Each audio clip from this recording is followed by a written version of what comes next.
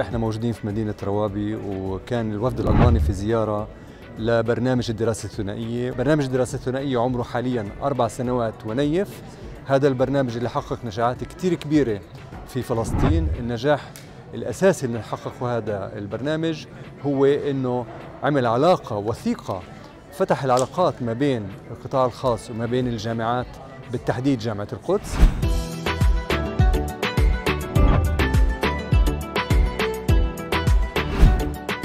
Bin sehr beeindruckt äh, von dem, was wir hier erleben. كانت كانت زيارة جيدة بالنسبة لي للاطلاع على هذه المدينة الجديدة وعلى هذه الشركة أيضا وعلى هذه الشراكة ما بين الجامعة والقطاع الخاص التي تجسد الحاجة الأساسية لنعمل مع بعض وأيضا النموذج الألماني كنموذج ناجح. نطلع المستقبل لرؤية المزيد من هذا النجاح.